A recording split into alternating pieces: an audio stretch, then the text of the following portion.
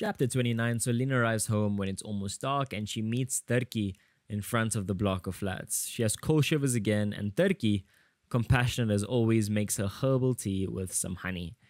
She tells Turki what has happened to Tibby, her colleague, and Turki, frantically, he begins to call police stations and hospitals in search of Tibby. And Lien feels really bad for not knowing Tibby's surname because they're so close, but doesn't even know his surname. And at last, they find someone who is undergoing surgery who could be Tibby. Turki will take Lien to the hospital the next day after school.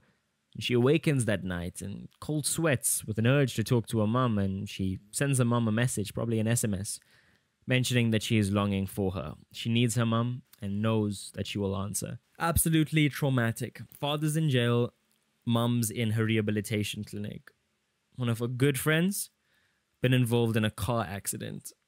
Almost considers prostitution. Things are not going too well she's also supporting her fin- her family financially.